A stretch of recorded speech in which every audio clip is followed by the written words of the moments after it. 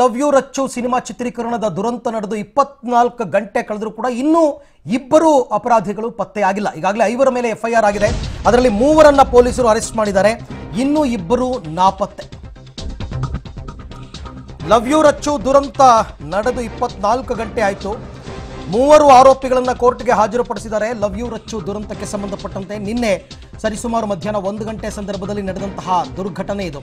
ಈ ಸಂದರ್ಭದಲ್ಲಿ ನಿರ್ಮಾಪಕ ಗುರು ದೇಶಪಾಂಡೆ ಅವರು ನಿನ್ನೆ ಘಟನೆ ನಡೆದಾಗಿಂದಲೂ ಕೂಡ ಎಸ್ಕೇಪ್ ಆಗಿದ್ದಾರೆ. ಹಾಗೆಯೇ ಮ್ಯಾನೇಜರ್ ಫರ್ನಾಂಡಿಸ್ ಕೂಡ ನಾಪತ್ತೆ ಆಗಿದ್ದಾರೆ. ಐವರ ಮೇಲೆ ಎಫ್ಐಆರ್, ಅದರಲ್ಲಿ ಮೂವರು ಅರೆಸ್ಟ್ ಆಗಿದ್ದಾರೆ. ಬಿಡದಿ ಪೊಲೀಸ್ ಸ್ಟೇಷನ್ನಲ್ಲಿ ಎಫ್ಐಆರ್ ಆಗಿರುವಂಥದ್ದು. ನಿರ್ದೇಶಕ ಶಂಕರಯ್ಯ, ಸ್ಟಂಟ್ ಮಾಸ್ಟರ್ ವಿನೋದ್ ಕುಮಾರ್ ಮತ್ತು ಕ್ರೇನ್ ಆಪರೇಟರ್ ಮಹದೇವ್ ಅವರನ್ನು ಈಗಾಗಲೇ ಅರೆಸ್ಟ್ ಮಾಡಿದ್ದಾರೆ. ಇಬ್ಬರು ನಾಪತ್ತೆ. ಸಿನಿಮಾದ ಪ್ರೊಡ್ಯೂಸರ್ ಗುರು ದೇಶಪಾಂಡೆ, ಅವರು ಎಸ್ಕೇಪ್ ಆಗಿದ್ದಾರೆ. ಮ್ಯಾನೇಜರ್ ಫರ್ನಾಂಡಿಸ್ ಕೂಡ ಎಸ್ಕೇಪ್ ಆಗಿದ್ದಾರೆ. ಮೂವರನ್ನು ಈಗಾಗಲೇ ಕೋರ್ಟ್ಗೆ ಹಾಜರುಪಡಿಸಲಾಗಿದೆ. ಪೊಲೀಸರು ಅವ್ರನ್ನ ವಿಚಾರಣೆ ಮಾಡ್ತಾ ಇದ್ದಾರೆ. ನಿನ್ನೆ ನಿನ್ನೆ ಇವರನ್ನ ಜಡ್ಜ್ ಮುಂದೆ ಹಾಜರುಪಡಿಸಲಾಯಿತು. ನಾಳೆ ಕೋರ್ಟ್ಗೆ ಕರ್ಕೊಂಡು ಬನ್ನಿ ಅಂತ ಹೇಳಿ ಅವ್ರನ್ನ ನ್ಯಾಯಾಂಗ ಬಂಧನಕ್ಕೆ ಕೊಟ್ಟಿದ್ರು. ಸೊ, ಹಾಗಾಗಿ ಇವತ್ತು ಅವ್ರನ್ನ ಕೋರ್ಟ್ಗೆ ಪ್ರೊಡ್ಯೂಸ್ ಮಾಡ್ತಾರೆ. ಅದರ ಜೊತೆಗೆ ಇನ್ನೂ ಇಬ್ಬರ ತಲಾಶ್ನಲ್ಲಿ ಇದ್ದಾರೆ. ಈ ನಡುವೆ ಆರ್ ಆರ್ ನಗರ ಆಸ್ಪತ್ರೆಯಲ್ಲಿ ಮೃತ ವಿವೇಕ್ನ ಮರಣೋತ್ತರ ಪರೀಕ್ಷೆಗಳು ಕೂಡ ನಡೀತಾ ಇದೆ. ಇದೆಲ್ಲ ಮುಗಿದ ನಂತರ ಮೃತದೇಹವನ್ನು ಕುಟುಂಬಸ್ಥರಿಗೆ ಹಸ್ತಾಂತರ ಮಾಡ್ತಾರೆ. ಬಹುತೇಕ ಇವತ್ತೇ ಅಂತ್ಯ ಸಂಸ್ಕಾರ ಕೂಡ ಸಾಯಂಕಾಲದ ವೇಳೆಗೆ ನಡೆಯುತ್ತೆ. ಇದರಲ್ಲಿ ಎ ಒನ್ ಆರೋಪಿ, ಎ ಟು ಆರೋಪಿ ನಿರ್ಮಾಪಕ ಗುರು ದೇಶಪಾಂಡೆ, ಎ ಒನ್ ಆರೋಪಿ stunt master Vinod Kumar, A three ಆರೋಪಿ, ಎ ತ್ರೀ ಆರೋಪಿ ವಿನೋದ್ ಕುಮಾರ್. ಸೊ, ಇವರೆಲ್ಲರೂ ಕೂಡ ಈಗ ಪೊಲೀಸರ ವಶದಲ್ಲಿ ಇದ್ದಾರೆ ಕೆಲವರು. ಈ ಬಗ್ಗೆ ಮತ್ತಷ್ಟು ಮಾಹಿತಿ ನನ್ನ ಕೊಲೀಗ್ ಮುರಳೀಧರ್ ಅವರಿಂದ ಪಡ್ಕೊಳ್ಳೋಣ. ಮುರಳಿ, ಈಗ ಘಟನೆ ನಡೆದು ಹತ್ತತ್ರ ಇಪ್ಪತ್ನಾಲ್ಕು ಗಂಟೆ ಆಯಿತು. ಪೊಲೀಸರ ಕಡೆಯಿಂದ ಆಗಿರುವಂತಹ ತನಿಖಾ ತನಿಖಾ ವರದಿ ಅಥವಾ ತನಿಖಾ ಪ್ರಗತಿ ಯಾವ ಹಂತದಲ್ಲಿದೆ? ಖಂಡಿತವಾಗಿ ಅರವಿಂದ್ ಏನಂದ್ರೆ ಈ ಪ್ರಕರಣಕ್ಕೆ ಸಂಬಂಧಪಟ್ಟಂತೆ ನಿನ್ನೆ ನಡೆದಂತ ಘಟನೆ ಏನಿತ್ತು, ಘಟನೆಗೆ ಸಂಬಂಧಪಟ್ಟಂತೆ ಈಗಾಗಲೇ ಮೂವರು ಆರೋಪಿಗಳನ್ನ ಪೊಲೀಸರು ಬಂಧಿಸಿದ್ದಾರೆ. ಮೂವರು ಆರೋಪಿಗಳನ್ನ ಪೊಲೀಸರಿಗೆ ಬಂಧಿಸಿ ಈಗಷ್ಟೇ ಕೆಲವೇ ಕ್ಷಣಗಳ ಹಿಂದಷ್ಟೇ ನ್ಯಾಯಾಂಗ ನ್ಯಾಯಾಲಯಕ್ಕೆ ಅವ್ರನ್ನ ಹಾಜರುಪಡಿಸ್ತಾ ಇರೋಂಥದ್ದು ಯಾಕಂದ್ರೆ ಪೊಲೀಸರ ಪ್ರಕಾರ ಇನ್ವೆಸ್ಟಿಗೇಷನ್ ಇನ್ನು ಯಾವುದೇ ರೀತಿಯ ಬಾಕಿ ಉಳ್ಕೊಂಡಿಲ್ಲ. ಯಾಕಂದ್ರೆ ಆರೋಪಿಗಳೇನಿದ್ರು ಮೂರು ಜನ ಆರೋಪಿಗಳು ನಿರ್ದೇಶಕರು ಇರ್ಬೋದು, ಸ್ಟೆಂಟ್ ಮಾಸ್ಟರ್ ಇರ್ಬೋದು, ಮತ್ತೆ ಕ್ರೇನ್ ಅನ್ನ ಓಡಿಸ್ತಿದ್ದಂತ. ಅಂದ್ರೆ ಕ್ರೇನ್ ಅನ್ನ ಓಡಿಸ್ತಿದ್ದಂತ ವ್ಯಕ್ತಿಯಿಂದವೇ ಈ ದುರಂತ ಸಂಭವಿಸಿರುವಂತದ್ದು ಅಂತ ಗೊತ್ತಾಯಿತು.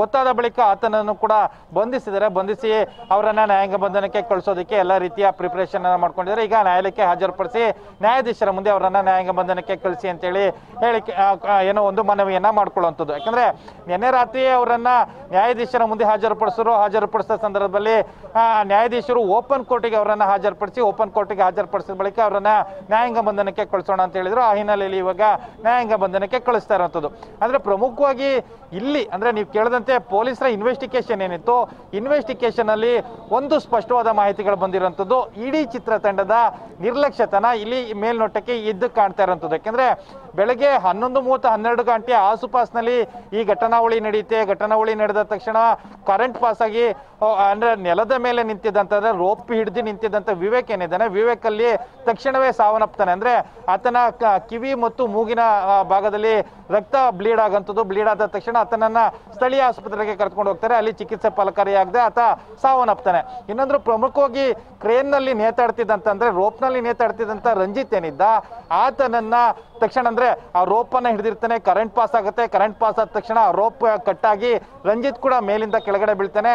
ಆತನಿಗೂ ಕೂಡ ತೀವ್ರವಾದ ಇಂಜುರಿ ಆಗ್ತದೆ. ಆತನನ್ನು ಆಸ್ಪತ್ರೆಗೆ ರವಾನೆಯನ್ನ ಮಾಡ್ತಾರೆ. ಅಂದ್ರೆ ಕ್ರೇನ್ನ ಚಾಲಕ ಏನಂದ್ರೆ ಕಳೆದ ಮೂರ್ನಾಲ್ಕು ದಿನಗಳಿಂದ ಕೂಡ ಏನು ಶೂಟಿಂಗ್ ನಡೀತಾ ಇತ್ತು. ಶೂಟಿಂಗ್ ನಡೀತಾ ಇದ್ದಂತ ತೋಟದ ಮನೆಯ ಹತ್ರದಲ್ಲಿ ಒಂದಷ್ಟು ಮಳೆ ಬಿದ್ದಿರುತ್ತೆ. ಮಳೆ ಬಿದ್ದ ಹಿನ್ನೆಲೆಯಲ್ಲಿ ಕ್ರೇನ್ ಮಣ್ಣಿನಲ್ಲಿ ಹೂತ್ಕೊಂಡಿತ್ತು. ಮಣ್ಣಿನಲ್ಲಿ ಹೂತ್ಕೊಂಡಿದ್ದಂತ ಕ್ರೇನ್ ಆತ ಸರಿಸೋ ಪ್ರಯತ್ನದಲ್ಲಿ ಈ ರೀತಿಯ ಅವಘಡ ಆಗಿರುವಂಥದ್ದು. ಯಾಕಂದ್ರೆ ಕ್ರೇನ್ನಲ್ಲಿ ಕ್ರೇನ್ ಮಣ್ಣಲ್ಲಿ ಹೂತ್ಕೊಂಡಿರುತ್ತೆ ಹೂತ್ಕೊಂಡ ತಕ್ಷಣ ಅದನ್ನ ಮೇಲಿದ್ದಂಥವನು ರೋಪ್ನಲ್ಲಿ ಇದ್ದಂಥವನ್ನ ಕೆಳಗಡೆ ಇಳಿಸಿ ಅದನ್ನ ಸರ್ಸೋ ಒಂದು ಪ್ರಯತ್ನನ ಮಾಡಬೇಕಾಯಿತು. ಅದನ್ನ ಬಿಟ್ಟು ರಂಜಿತ್ ಮೇಲೆ ಇರ್ತೇನೆ. ಆತ ಮಣ್ಣಿನಲ್ಲಿ ಹೂತ್ಕೊಂಡಿರೋಂಥ ಕ್ರೇನ್ ಅನ್ನ ಸರ್ಸೋ ಪ್ರಯತ್ನ ಮಾಡೋ ಸಂದರ್ಭದಲ್ಲಿ ಈ ಅವಘಡ ಸಂಭವಿಸಿರುವಂಥದ್ದು.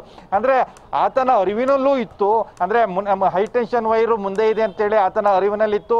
ಜೊತೆಗೆ ಅದನ್ನ ನೋಡ್ತಾ ಇದ್ದಂಥ ನಿರ್ದೇಶಕರಿಗೆ ಗೊತ್ತಿತ್ತು. ಜೊತೆಗೆ ಸಂಯೋಜಕರಿಗೂ ಕೂಡ ಗೊತ್ತಿತ್ತು. ಇದೆಲ್ಲ ಗೊತ್ತಿದ್ರು ಕೂಡ ಆತನ ಉದ್ದೇಶಪೂರಿತ ಪೂರಿತವಾಗಿ ಈ ಘಟನೆ ನಡೆದಿರುವಂತದ್ದು ಅನ್ನೋ ಆ, ಹಿನ್ನೆಲೆಯಲ್ಲಿ ಈಗ ಮೂವರು ಆರೋಪಿಗಳನ್ನ ಬಂಧಿಸಿದ್ದಾರೆ. ಇನ್ನುಳಿದ ಆರೋಪಿಗಳು ಅಂದ್ರೆ ಪ್ರಮುಖವಾಗಿ ಚಿತ್ರದ ನಿರ್ದೇಶಕ ಮತ್ತು ಸಂಯೋಜಕ ಅಂದ್ರೆ ಸಹಾಯವನ್ನ ಸಹಾಯವನ್ನು ಮಾಡುವಂತ ಫರ್ನಾಂಡಿಸ್ ಏನಿದ್ದಾರೆ ಅವರಿಬ್ಬರು ಕೂಡ ಈಗ ಅಪ್ಸ್ಕ್ಯಾಂಡ್ ಆಗಿರೋಂಥದ್ದು. ಅವರನ್ನ ಬಂಧಿಸೋದಕ್ಕೆ ಪೊಲೀಸರು ಪ್ರಯತ್ನಗಳನ್ನ ಮುಂದುವರಿಸ್ತಾ ಇರೋಂಥದ್ದು ಓಕೆ ಮರಳಿ ಥ್ಯಾಂಕ್ ಯು ತಮ್ಮ ಎಲ್ಲ ಮಾಹಿತಿಗಾಗಿ ಧನ್ಯವಾದ. ಸೊ ಒಂದು ಕಡೆ ಪೊಲೀಸರ ತನಿಖೆ ಮುಂದುವರಿತಾ ಇದೆ.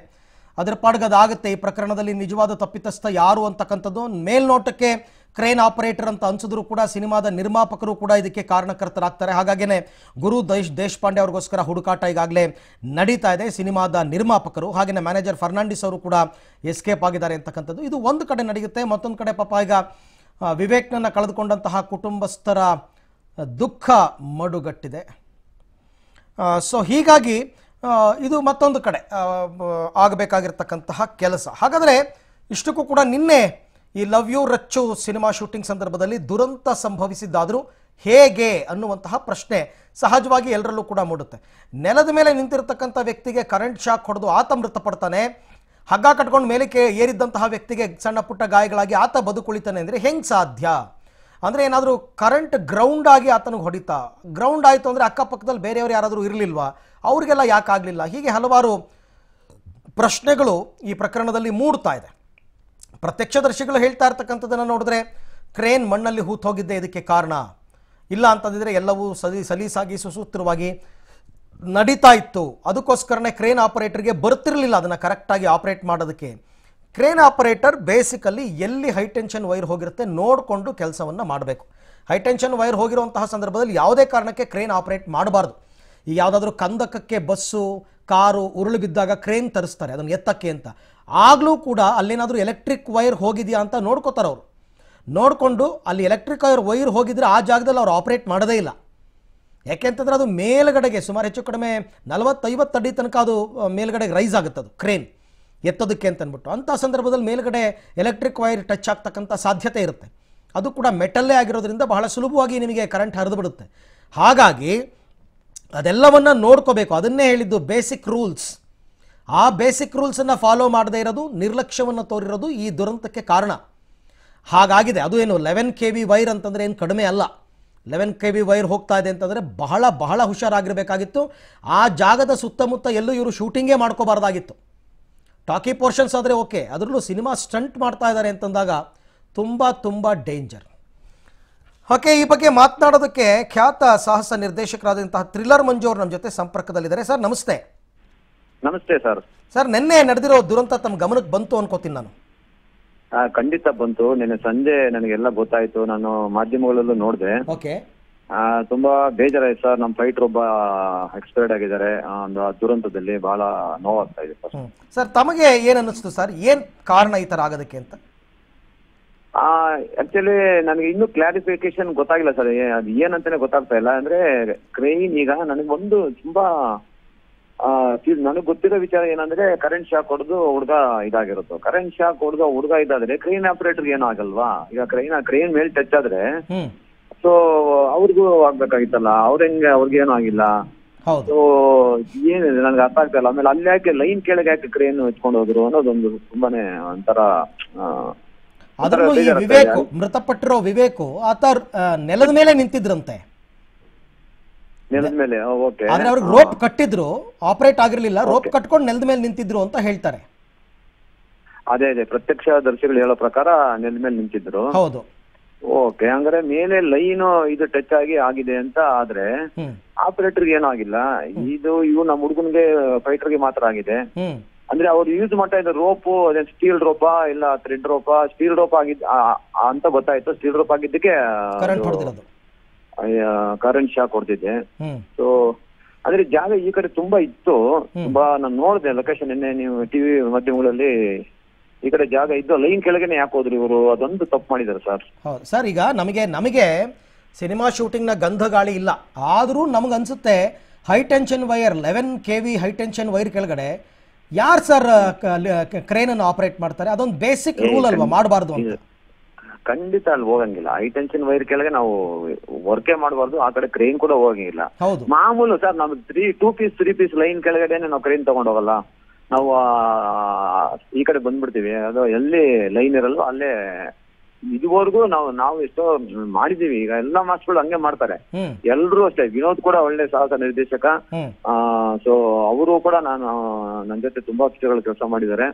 ಅವರು ಕೂಡ ಎಲ್ರು ಎಲ್ಲಾ ಮಾಸ್ಟರ್ಗಳು ತುಂಬಾ ಪ್ರಿಕಾಷನ್ಸ್ ತಗೊಂಡ್ ಮಾಡ್ತಾರೆ. ಇದೇ ಇದು ಯಾಕೆ ಹಂಗಾಯ್ತು? ಆ ಲೈನ್ ಕೆಳಗೆ ಯಾಕೆ ಮಾಡಿದ್ರೆ ನನಗೆ ಅರ್ಥ ಆಗ್ತಾ ಇರುತ್ತೆ ಈಗ ಸಾಮಾನ್ಯ ಎಲ್ಲಾದ್ರೂ ಈ ಪ್ರಪಾತಕ್ಕೆ ಕಾರ್ ಬಿದ್ದಾಗೆಲ್ಲ ನಾವು ನೋಡಿದೀವಿ. ಕ್ರೇನ್ ತಂದು ಕಾರು ಬಸ್ಸು ಎತ್ತಬೇಕಾದ್ರೆ ಅಲ್ಲೇನಾದ್ರೂ ವೈರ್ ಹೋಗಿದ್ದೇವೆ. ಎಲೆಕ್ಟ್ರಿಕ್ ವೈರ್ ಅಂತಂದ್ರೆ ಅವ್ರು ಆ ಜಾಗದಲ್ಲಿ ಕೆಲಸನೇ ಮಾಡಲ್ಲ ಆಕ್ಚುಲಿ ಏ ಖಂಡಿತ ಇಲ್ಲ ಖಂಡಿತ ಇಲ್ಲ. ಮತ್ತೆ ಈಗ ಕ್ರೇನ್ ಆಪರೇಟರ್ದು ತಪ್ಪಾಗುತ್ತಲ್ವಾ ಸರ್? ಹಾಗಾದ್ರೆ ಆ ಜಾಗಕ್ಕೆ ತಗೊಂಡೋಗಿ ನಿಲ್ಸ್ಕೊಂಡಿದ್ದು ಮತ್ತೆ ಅಲ್ಲಿ ಕೆಲಸ ಮಾಡಿದ್ದು? ಹೌದು ಸರ್ ಆಗುತ್ತೆ. ಕ್ರೇನ್ ಆಪರೇಟರ್ ಹೇಳ್ಬೋದಾಗಿತ್ತು ನಾನು ಅಲ್ಲಿ ಬರಲ್ಲ ಸರ್ ಖಂಡಿತ ಅಲ್ಲಿ ಡೇಂಜರ್ ಇದೆ ಅಂತ ಅವ್ರು ಹೇಳ್ಬೇಕಾಗಿತ್ತು. ಸರ್ ಇದು ಟೀಮ್ ವರ್ಕ್ ಸರ್ ಇದು. ಇದು ಒಬ್ಬರೇ ಒಬ್ಬರೇ ಹೊಣೆ ಅಲ್ಲ. ಇದೇನಂದ್ರೆ ಈಗ ಕೆಲಸ ಮಾಡೋ ಟೋಟಲ್ ಟೀಮ್ ವರ್ಕ್ ಇದು. ಸೊ ಯಾರಾದ್ರೂ ಒಬ್ಬರು ಎಚ್ಚೆತ್ಕೊಳ್ಬೇಕಿತ್ತು ಅಂತ ನನ್ನ ಅನಿಸಿಕೆ. ಖಂಡಿತ. ಯಾರಾದ್ರೂ ಈಗ ಈಗ ಈಗ ಈಗ ಎಲ್ರದ್ದು ರೆಸ್ಪಾನ್ಸಿಬಿಲಿಟಿ ಆಗುತ್ತಲ್ವಾ ಸರ್? ಎಲ್ರದ್ದು ಆಗುತ್ತೆ ಸರ್ ಈಗ ಅಲ್ಲಿ ಒಬ್ಬರದ ಮೇಲೆ ನಾವು ಹಾಕಂಗಿಲ್ಲ ಎಲ್ರದ್ದು ರೆಸ್ಪಾನ್ಸಿಬಿಲಿಟಿ ಇರುತ್ತೆ. ಈವನ್ ಅಲ್ಲಿ ಫೈಟ್ರು ಕೂಡ ಅಲ್ಲಿ ಏನ್ ಗೊತ್ತಾ ಆ ಹುಡ್ಗನು ಸ್ವಲ್ಪ ಪಾಪ ಮಾಸ್ಟರ್ ಹೇಳ್ದಂಗ್ ಮಾಡಿದಾನೋ ಇಲ್ಲ ಡೈರೆಕ್ಟರ್ ಹೇಳ್ದಂಗ್ ಮಾಡಿದಾರೋ ಅದು ಗೊತ್ತಿಲ್ಲ. ಬಟ್ ಆದ್ರೂ ಆ ಹುಡ್ಗನಿಗೂ ಪಾಪ ಅಲ್ಲಿ ಹೋಗಿ ನಿಂತವನೆ ಅಂದ್ರೆ ಅದ್ ನನಗೆ ಅರ್ಥ ಆಗ್ತಾ ಇಲ್ಲ ಏನು ಅಂತ. ಈಗ ಎಲ್ರು ರೆಸ್ಪಾನ್ಸಿಬಿಲಿಟಿ ಇರ್ತಾರೆ ಆ ಜಾಗದಲ್ಲಿ. ಆ ಲೈನ್ ಕೆಳಗೆ ಹೋಗ್ಬಾರ್ದಾಗಿತ್ತು ಸರ್ ಫಸ್ಟ್ ಆಫ್ ಆಲ್ ಒಂದೇ ಪಾಯಿಂಟ್ ಸರ್ ಅಲ್ವಾ? ಆ ವೈರ್ ಕೆಳಗಡೆ ಇವರು ಶೂಟಿಂಗ್ ಮಾಡಿದ್ದೆ ದೊಡ್ಡ ತಪ್ಪು. ಖಂಡಿತ ಖಂಡಿತ. ವೈರ್ ಕೆಳಗೆ ಅದು ಎಷ್ಟು ಎಷ್ಟು ಪ್ಲೇಯರ್ ಕ್ರೇನ್ ಅಂತ ನನಗೆ ಗೊತ್ತಿಲ್ಲ. ಅದು ಮೂರು ತರ ಎಲ್ಲ ಕ್ರೇನ್ ಬರುತ್ತೆ ಸರ್ ನಾವು ಜನರಲ್ ಆಗಿ ಶೂಟಿಂಗ್ ಯೂಸ್ ಮಾಡೋದು forty feet crane two layers sixty feet crane three layers eighty feet crane four layers layers ಅಂದ್ರೆ ಮುಂದ್ಗಡೆ ಓಪನ್ ಆಗುತ್ತೆ ಗೊತ್ತಾ? ಹೌದೌದು ನೋಡಿದೀವಿ. ಸೊ ಆ ತರದ್ದು ಇದು ಮೋಸ್ಟ್ಲಿ ಏಯ್ಟಿ ಫೀಟ್ ಇದೆಯೋ ಏನೋ ನನ್ಗೆ ಕ್ರೇನ್ ನನ್ಗೆ ಗೊತ್ತಾಗ್ತಾ ಇಲ್ಲ. ಆಮೇಲೆ ವಿನೋದ್ ಕುಮಾರ್ ಅವರು ಏನು ಜೂನಿಯರ್ ಏನಲ್ಲ ಅವರು ತುಂಬಾ ಸಿನಿಮಾಗಳಲ್ಲಿ ಕೆಲಸ ಮಾಡಿದ್ದಾರೆ. ಅವ್ರಿಗಾದ್ರೂ ಇದು ಒಂಚೂರು ಹೊಳಿಬೇಕಾಗಿತ್ತಾ ಇಂಥ ಇಂಥ ಕಂಪೋಸ್ ಮಾಡಬೇಕಾದ್ರೆ ಶಾರ್ಟ್ಸ್ ಅನ್ನ ಅಂತ? ಹೌದು ನೋಡ್ಕೊಬೇಕಾಗಿತ್ತು. ಏನು ಈ ಶಾರ್ಟ್ ಅಲ್ಲಿ ಆಯ್ತಾ ಇಲ್ಲ ಸುಮ್ಮನೆ ನಿಂತಿದ್ದಾಗೆ ಆಯ್ತೋ ಇಲ್ಲ ಪ್ರಿಪರೇಷನ್ ಟೈಮ್ ಅಲ್ಲಿ ಆಯ್ತೋ ಅದೊಂದು ಕ್ಲಾರಿಫೈ ಆಗ್ಬೇಕಿದೆ. ಸೊ ಏನಂತ ಅರ್ಥ ಆಗ್ತಾ ಇಲ್ಲ. ಅಲ್ಲಿ ಅಲ್ಲಿ ಏನ್ ನಡೀತು ಅದು ಹಂಡ್ರೆಡ್ ಪರ್ಸೆಂಟ್ ಗೊತ್ತಿಲ್ವಲ್ಲ ಅದ್ ಏನ್ ಹೇಳಕ್ ಆಗ್ತಾ ಇಲ್ಲ ಸರ್ ನಾನು. ಆ ವಿವೇಕ್ ಅನ್ನೋ ಹುಡುಗ ಒಂದು ಜೀವ ಹೋಗಿದೆ ಬೇಜಾರಾಗುತ್ತೆ. ಅದೇ ಆ ವಿವೇಕ್ ಅನ್ನೋ ಹುಡುಗ ಏನ್ ಮೃತಪಟ್ಟಿದ್ದಾರೆ? ಆತ ನಿಮಗೆ ಗೊತ್ತಿತ್ತ ಸರ್? ಗೊತ್ತು ಸರ್. ನನ್ ನನ್ ಸಿನಿಮಾದಲ್ಲಿ ಒಂದ್ ಎರಡ್ ಮೂರು ಸಿನಿಮಾ ಕೆಲಸ ಮಾಡಿದಾನೆ ಆ ಒಳ್ಳೆ ಹುಡುಗ. ಅವ್ರ ಚಿಕ್ಕಪ್ಪ ಇದಾರಲ್ಲ ಸುಬ್ರಹ್ಮಣ್ಯ ಮತ್ತೆ ಗೋಪಿ ಅಂತ ಅವ್ರು ನನ್ ಜೊತೆ ನೂರ್ ನೂರೈವತ್ತು ಸಿನಿಮಾಗಳು ಮೀ ನೂರೈವತ್ತು ಸಿನಿಮಾಗೂ ಮೇಲ್ ಮಾಡಿದ್ದಾರೆ. ಅವರಿಬ್ರು. ಈ ಹುಡುಗ ಹೊಸದಾಗಿ ಬಂದಿದ್ದು ನಮ್ ಜೊತೆ ಒಂದ್ ಎರಡ್ ಮೂರು ಮಾಡಿದ್ದಾನೆ ಸರ್. ಗೊತ್ತು ಹುಡುಗ. ಬಟ್ ಇವೆಲ್ಲ ಈಗ ನೋಡಿ ಎ ಕೆ ಫಾರ್ಟಿ ಸೆವೆನ್ ಅಲ್ಲಿ ಸರ್ಕಲ್ ಇನ್ಸ್ಪೆಕ್ಟರ್ ಇಂಥ ಸಿನಿಮಾಗಳನ್ನೆಲ್ಲ ಮಾಡಬೇಕಾದ್ರೆ ಇಂಥ ಕೆಲವು ದುರಂತಗಳನ್ನ ತಾವು ಕೂಡ ನೋಡಿದೀರಾ? ಅದನ್ನೆಲ್ಲ ಯಾವ ತರ ಆಗುತ್ತೆ ಅಂತ ಅಂದ್ಬಿಟ್ಟು ಮುಖ್ಯಮಂತ್ರಿ ಬೊಮ್ಮಾಯಿ ಅವರು ಇವತ್ತು ಬೆಳಿಗ್ಗೆ ಹೇಳ್ತಾ ಇದ್ರು ಕೆಲವು ಬೇಸಿಕ್ ರೂಲ್ಸ್ ಅನ್ನೇ ಫಾಲೋ ಮಾಡ್ತಿಲ್ಲ ಚಿತ್ರೀಕರಣದ ಸಂದರ್ಭದಲ್ಲಿ ಇವರು ಅಂತ. ಖಂಡಿತ ಖಂಡಿತ ಸರ್. ಇದು ನೋಡಿ ನಾನು ಈಗ ಲಾಕಪ್ ಡೆತ್ ಶೂಟಿಂಗ್ ಅಲ್ಲಿ ಎಂಜಿ ರೋಡ್ ಅಲ್ಲಿ ಮಾಡ್ಬೇಕಾದ್ರೆ ಎರಡು ಬೈಕ್ ನಾನು ಸಾವಿರ ಬಾಕ್ಸ್ ಹಾಕಿದ್ದೆ ಸರ್ ಅಲ್ಲಿ. ಸಾವಿರ ಬಾಕ್ಸ್ ಹಾಕಿ ಸುಮ್ನೆ ಬೈಕ್ ಏನೋ M G road military parade ground ಇಂದ ಅಲ್ಲಿ ಅಲ್ಲಿಂದ ಬೈಕ್ಸ್ ಬರ್ಬೇಕಾಗಿತ್ತು. ಬೈಕ್ಸ್ ರ್ಯಾಂಪ್ ಇಟ್ಟು ಸುಮ್ಮನೆ ಒಂದು ಫಾರ್ಟಿ ಕಿಲೋಮೀಟರ್ ಬಂದು ಸುಮ್ಮನೆ ಮೇಲೆ ಜಂಪ್ ಮಾಡಿ ಬಾಕ್ಸ್ ಮೇಲೆ ಅಂತ ಹೇಳಿದ್ದೆ. ಅವರು ಸೆವೆಂಟಿ ಏಯ್ಟಿ ಕಿಲೋಮೀಟರ್ಸ್ ಬಂದು ಆ ಮಿಸ್ಟೇಕ್ ಆಗಿ ಅದು ಬಟನ್ ಸ್ಪೋರ್ಟ್ ಫೀಲ್ಡ್ ಅಲ್ಲಿ ಲಾನ್ ಅಲ್ಲಿ ಬಿದ್ದಾಗ ಯಾರಿಗೂ ಏನ್ ತೊಂದರೆ ಆಗಿಲ್ಲ. ಸುಮಾರು ಜನ ಅನ್ಕೊಂಡಿದ್ದಾರೆ ಅಯ್ಯೋ ಸತ್ತಿ ಹೋಗ್ತಾರೇನೋ ಅಂತ. ಯಾರು ಏನ್ ತೊಂದ್ರೆ ಇಲ್ಲ. ಅಲ್ಲಿ ಆವಾಗಲೇ ಒಬ್ಬ ಹುಡುಗನಿಗೆ ರೈಟ್ ಕಾಲ್ ಫ್ರಾಕ್ಚರ್ ಆಗಿತ್ತು. ಇನ್ನೊಬ್ಬ ಇನ್ನೊಬ್ಬ ಶಿವ ಅಂತಿದ್ದೀನಿ ಆ ಹುಡುಗನಿಗೆ ಏನಾಗಿಲ್ಲ. ಆ ಒಂದು ಲೈಟ್ ಸ್ಕ್ರಾಚ್ ಆಗಿತ್ತು ಅಷ್ಟೇ. ಸೊ ಅಷ್ಟು ದೊಡ್ಡ ಸ್ಟೆಂಟ್ ಮಾಡಿ ಸೊ ಏನು ತೊಂದರೆ ಆಗಿರ್ಲಿಲ್ಲ ದೇವ್ರ ದಯದಿಂದ. ಹ್ಮ್. ಸೊ ಈಗ ಮಾಸ್ತಿ ಗುಡಿದೊಂದು ಅದೊಂದು ತುಂಬಾನೇ ಬೇಜಾರ. ಅದೇ. ಆದ್ಮೇಲೆ ಅಂತೂ ಎಲ್ಲರೂ ಎಚ್ಚೆತ್ಕೊಂಡಿದ್ದಾರೆ ಸರ್. ಏನ್ ಟೆನ್ಷನ್ ಇಲ್ಲ. ತುಂಬಾ ಚೆನ್ನಾಗಿ ಪ್ರಿಕಾಷನ್ ತಗೊಂಡ್ ಮಾಡ್ತಾ ಇದ್ದಾರೆ. ಸೊ ಇದೊಂದು ಆಗೋಯ್ತು ಸರ್. ಈಗ ಇಷ್ಟೆಲ್ಲ ಮ್ಯಾಕ್ಸಿಮಮ್ ಪ್ರಿಪ್ರೇ ಪ್ರಿಕಾಷನ್ಸ್ ತಗೊಂಡು ಮಾಡಿದ್ರು ಕೂಡ ಕೆಲವು ಸಂದರ್ಭಗಳಲ್ಲಿ ನೀವು ಹೇಳ್ದಂಗೆ ಫ್ರಾಕ್ಚರ್ ಆಗೋದು ಸಣ್ಣ ಪುಟ್ಟ ಗಾಯಗಳು ಆಗೋದು ಇವೆಲ್ಲ ಆಗ್ತಾ ಇರುತ್ತೆ. ಪ್ರಿಕಾಷನ್ಸೇ ತಗೊಳ್ಳಿಲ್ಲ ಅಂತಾಗ ಈ ತರದ್ದು ದುರಂತಗಳು ನಡೆಯುತ್ತೆ. ಹೌದೌದು. ಸ್ಟೆಂಟ್ ಅಂದ್ರೆ each and every shot risk ಇರುತ್ತೆ? ಸಣ್ಣ ಪುಟ್ಟದ್ದು ನಾವು ಮೆಡಿಕಲ್ ಕಿಟ್ ಇಟ್ಕೊಂಡಿರ್ತೀವಿ ಸಮಟೈಮ್ಸ್ ಡಾಕ್ಟರ್ನೇ ಕಟ್ಬಿಟ್ಟಿರ್ತೀವಿ ವಾಟ್ ಹೆವಿ ವರ್ಕ್ ಇದ್ದಾಗ ಆಂಬುಲೆನ್ಸ್ ಇರುತ್ತೆ. ಸೊ ಹೆವಿ ಹೆವಿ ಹೆವಿ ಇದ್ದಾಗ. ಸೊ ಸಣ್ಣ ಪುಟ್ಟದ್ದು ಮಾಮೂಲು ಸರ್ ಈ ಗ್ಲಾಸ್ ಬ್ರೇಕ್ ಮಾಡಿದ್ರಂತೂ ಲೈಟ್ ಆಗಿ ಸ್ಕ್ರಾಚ್ ಆಗಿ ಬೆಡ್ ಬಂದೇ ಬರುತ್ತೆ. ಅವೆಲ್ಲ ಸಣ್ಣ ಪುಟ್ಟದ್ದು ಸೊ ಈ ತರ ಆದಾಗಲೇ ಇದು ಈ- ಎಷ್ಟು ಇನ್ ಯಾ ಇನ್ ಹೆಂಗೆ ಹೇಳ್ಬೇಕು ಅರ್ಥ ಆಗ್ತಾ ಇಲ್ಲ. ಸೊ ಲೈನ್ ಕೆಳಗೆ ಮಾಡಿದ್ದು ಒಂದು ತಪ್ಪು. ಆ ಕಡೆ ಕ್ರೇನೆ ಹೋಗ್ಬಾರ್ದಾಗಿತ್ತು. ನನ್ನ ಒಂದು ಅನಿಸಿಕೆ. ಈಗ ಈ ಸಿನಿಮಾದ producer director director stunt master ಇದು ಎಲ್ರದು ರೆಸ್ಪಾನ್ಸಿಬಿಲಿಟಿನ ಸರ್ ಇದು? ಸರಿ ಹಂಡ್ರೆಡ್ ಪರ್ಸೆಂಟ್ ಸರ್. ಈಗ ಈಗ ಸಿನಿಮಾ ಶೂಟಿಂಗ್ ಅಂದ್ರೆ ಒಂದ್ ಎಪ್ಪತ್ತೆಂಬತ್ತು ಜನ ಇರ್ತಾರೆ. ದೊಡ್ಡ ಸಿನಿಮಾ ಅಂದ್ರೆ ನೂರ್ ನೂರೈವತ್ತು ಜನ ಇರ್ತಾರೆ. ಮೀಡಿಯಂ ಸಿನಿಮಾ ಅಂದ್ರೆ ಒಂದ್ ಎಪ್ಪತ್ತೆಂಬತ್ತು ಜನ ಮಿನಿಮಮ್ ಇದೆ ಇರ್ತಾರೆ.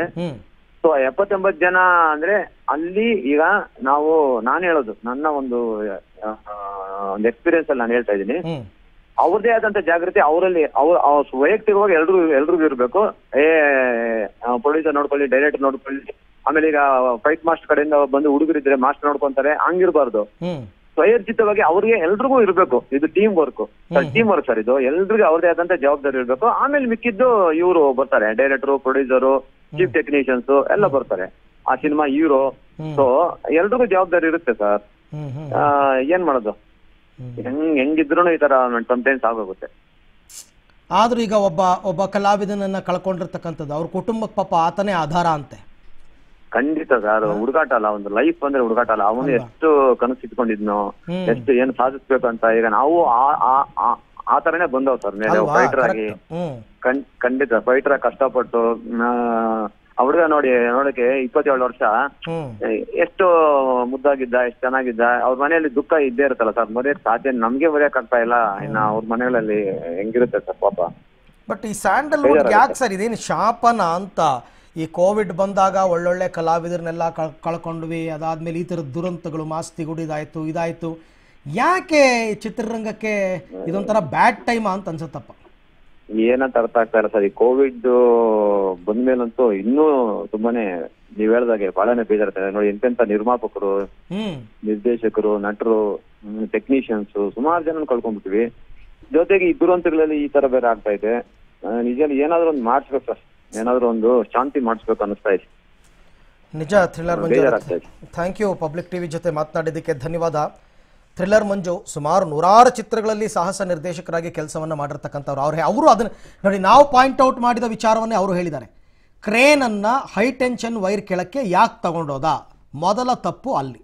ಹಾಗನ್ಬಿಟ್ಟು ಕ್ರೇನ್ ಆಪರೇಟರ್ ಒಬ್ಬರದೇ ತಪ್ಪು ಅನ್ನೋಕ್ಕಾಗಲ್ಲ ಇದೊಂದು ಟೀಮ್ ವರ್ಕು ಎಲ್ಲರೂ ರೆಸ್ಪಾನ್ಸಿಬಿಲಿಟಿ ತಗೋಬೇಕಾಗತ್ತೆ ಅಂತ.